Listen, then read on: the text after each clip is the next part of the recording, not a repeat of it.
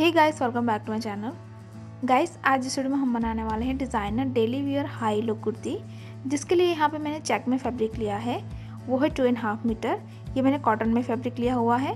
So guys let's go started देखिए, सबसे पहले हमें बैक का पार्ट कट करना है। फैब्रिक को हमने सिर्फ़ टू फोल्ड किया हुआ है। यहाँ से शोल्डर का पार्ट में लूँगी सेवन इंचज़ आर्म होल में लूँगी यहाँ पे सेवन इंचज़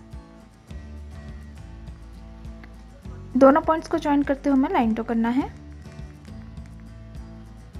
अब देखिए, यहाँ पे लेना है हमें चेस्ट का पार्ट तो वो मैं ले रही हूँ इलेवन इंचज़ यहाँ पे चेस्ट का जो भी मेज़रमेंट हो, उसे डिवाइड बाई फोर करना है और उसमें टू इंचज़ ऐड करना है सिंग अलाउंस के लिए।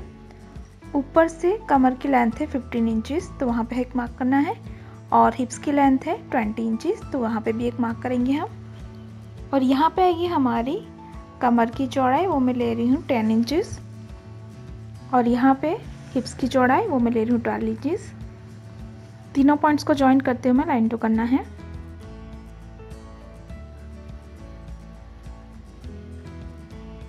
अब देखिए इस पॉइंट को हम क्रॉस में एक्सटेंड करते जाएँगे लेंथ तक।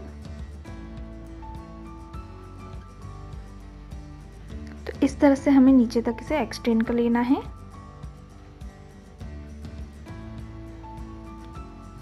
टोटल लेंथ मैंने ली है यहाँ पे 45 इंचेस।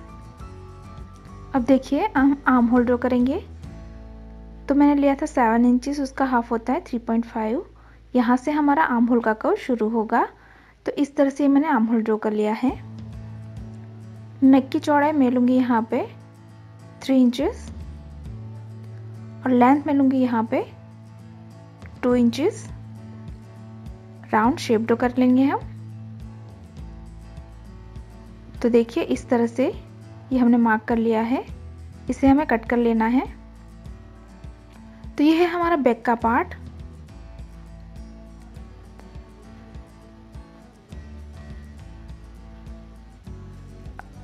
अब देखिए फ्रंट का पार्ट कट करने के लिए फैब्रिक को हमने फिर से टू फोल्ड में लिया हुआ है। और जो हमने बैक का पार्ट कट किया था, उसे भी हमें टू फोल्ड करते हुए फोल्डेड एरिया से फोल्डेड एरिया मिलाते हुए रखना है। उसके बाद हम इसे सबसे पहले एज इट इज़ मार्क कर लेंगे।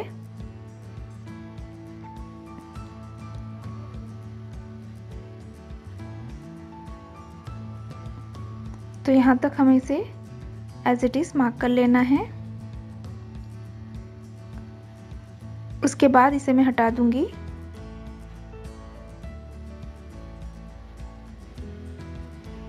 अब यहाँ पे हमें कुछ चेंजेस करने हैं। तो फ्रंट में हमें हाई लो का शेप ड्रो करना है। उससे पहले हमें नेक पार्ट को यहाँ पे थोड़ा सा डीप करना है तो यहाँ पे मैं टू एंड हाफ़ इंचज़ पे मार्क करके राउंड शेप ड्रो करूँगी। इस तरह से मैंने, उसके बाद यहाँ पे हमें पैटर्न करने के लिए थ्री इंचज़ डाउन पे एक मार्क करना है। और यहाँ पे हम राउंड शेप ड्रो करेंगे। तो फ्रंट का नेक हम इस तरह का ड्रॉ करेंगे। इस तरह से हमने ड्रॉ कर लिया है। ये होगा हमारा फ्रंट का नेक अब यहाँ से हमें हाई लो का शेप ड्रॉ करना है। तो ऊपर से हमें 28 इंचेस पे एक मार्क करना है।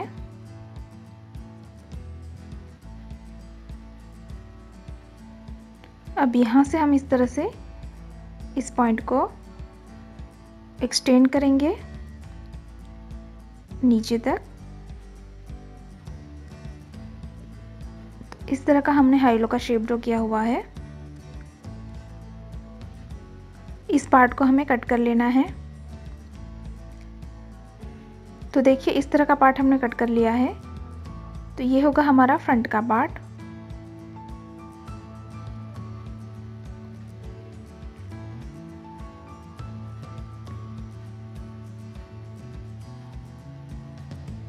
अब देखिए, यहाँ पे हमें एक बेल्ट अटैच करना है। तो उसके लिए मैंने फैब्रिक को इस तरह से क्रॉस में टू फोल्ड किया हुआ है। और जो हमारा फ्रंट का पार्ट है, उसे भी हमें टू फोल्ड करके यहाँ पे रखना है। और उसी शेप में हमें इसे ड्रॉ कर लेना है।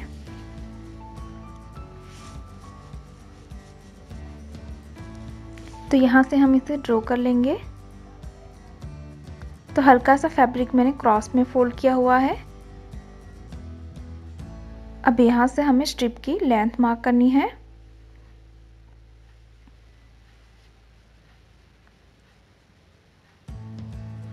तो यहाँ से लेंथ मैं लूँगी सेवन इंचिस।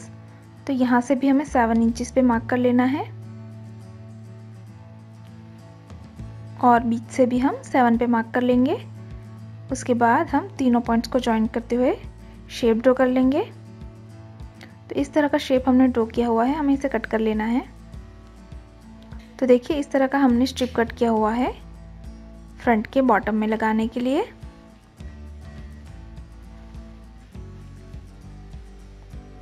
अब सबसे पहले हमें नेक लाइन तैयार करनी है। तो उसी शेप का हमने इस तरह का स्ट्रिप कट किया हुआ है, जिसे हम इसके ऊपर उल्टा रखेंगे और यहाँ पे हम सिलाई करेंगे। तो ये देखिए, सिलाई लगा दी है हमने। उसके बाद यहाँ पे हल्के हल्के हम कट लगाएँगे। तो कट लगाते वक्त ध्यान रखिए कि आपकी सिलाई ना कटे। उसके बाद हमें इस स्ट्रिप को बैक साइड पे टर्न करना है और बैक साइड पे हम इसे डबल फोल्ड करके सिलाई कर लेंगे। तो सिंपली आप इसे बैक साइड पे डबल फोल्ड करके सिलाई कर लीजिए। ये देखिए, हमने बैक साइड पे डबल फोल्ड कर लिया है। अब हम ऊपर का पार्ट तैयार करेंगे। उसी शेप का हमने स्ट्रिप कट किया हुआ है, जिसे हम इसके ऊपर उल्टा रखेंगे और यहाँ पे सिलाई कर लेंगे। उसी तरह से मैंने बैक का नेक भी अरेंज किया हुआ है, ये राइट पार्ट है, उसके ऊपर स्ट्रिप को हमने उल्टा रखा हुआ है और यहाँ पे हम सिलाई करेंगे। ये देखिए, हमने सिलाई लगा दी है। अब यहाँ पे हम हल्के हल्के कट लगाएँगे। तो इस तरह से हमें कट लगाने हैं। कट लगाने के बाद हम इसे बैक साइड पे टर्न करेंगे। और बैक साइड पे आपको डबल फोल्ड करके सिलाई कर लेना है पूरी लेंथ में। तो इस तरह से हमारा नेक तैयार हो जाएगा। इसी तरह से हमें बैक का नेक भी तैयार करना है। ये देखिए हमारा नेक बिल्कुल तैयार है, फ्रंट और बैक का। अब एक के ऊपर दूसरा पार्ट हमें उल्टा रखना है। इस तरह से। और हम करेंगे शोल्डर फिटिंग। तो यहाँ पे आपको सिलाई लगा के शोल्डर फिटिंग कर लेना है। ये देखिए, हमारा शोल्डर फिटिंग हो चुकी है। अब हम आर्म होल को तैयार करेंगे। तो ये हमारा राइट पार्ट है, जिसके ऊपर हमने बायो स्ट्रिप कट की हुई है, जिसे हम इसके ऊपर उल्टा रखेंगे। और यहाँ पे हम दोनों को मिलाते जाएँगे और सिलाई कर लेंगे। इसी तरह से इस तरफ़ भी हमें स्ट्रिप को उल्टा रखना है और दोनों को मिलाने के बाद हमें सिलाई कर लेना है। सिलाई करने के बाद हम नोचिस लगाएँगे और नोचिस लगा के हम इसे बैक साइड पे टर्न करके डबल फोल्ड करेंगे। जैसे हमने नेक पार्ट तैयार किया था, वैसे ही हमें आर्म होल तैयार करने हैं। तो ये हमारा आर्म होल बिल्कुल तैयार है। अब यहाँ पे हमें उस स्ट्रिप को अटैच करना है। तो देखिए हमारी स्ट्रिप है। इसके ऊपर हम स्ट्रिप को उल्टा रखेंगे इस तरह से और दोनों को अच्छे से मिलाते जाना है और हम सिलाई कर लेंगे। तो इसके साथ ये ज्वाइन हो जाएगा।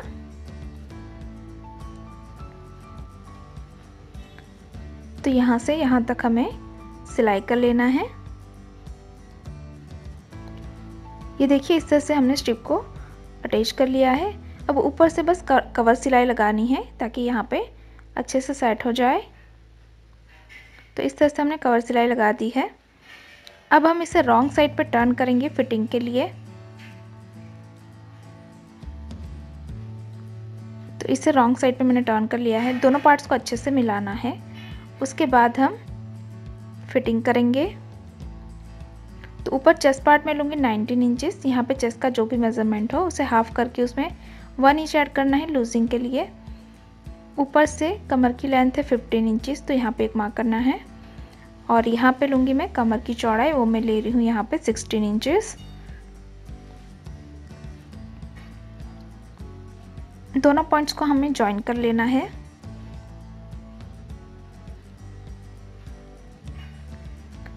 उसके बाद इस पॉइंट को हम क्रॉस में एक्सटेंड कर लेंगे लेंथ तक। तो वन इंच के डिफरेंस पे हमें इस लाइन को एक्सटेंड कर लेना है नीचे तक। तो इस तरह से हमारी फिटिंग हो जाएगी। ये देखिए, हमने फिटिंग करके राइट साइड पे टर्न कर लिया है। अब हमें नीचे की बॉर्डर को फोल्ड करना है। तो इसे बैक साइड पे डबल फोल्ड करके सिलाई कर लीजिए। तो पूरी लेंथ में आपको इस तरह से बॉर्डर फोल्ड करनी है। ये देखिए, हमने बॉर्डर को फोल्ड कर लिया है।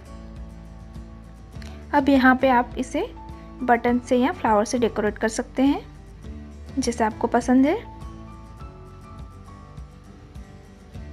तो देखिए, यहाँ पे मैंने इस तरह से बटन लगा दिए हैं और इसी के साथ ही हमारी डिज़ाइनर कुर्ती बिल्कुल तैयार हो चुकी है। गैस तैयार है हमारी डिज़ाइनर कुर्ती। अगर आपको हमारी डिज़ाइन अच्छी लगी तो वीडियो को लाइक करें। शेयर करें। और गाइस अभी तक आपने हमारे चैनल को सब्सक्राइब नहीं किया है तो प्लीज़ इसे सब्सक्राइब करें और साथ ही साथ उस बेल आइकन पर क्लिक करें, ताकि आप हमारे आने वाली कोई वीडियो को मिस ना करें। Thanks for watching bye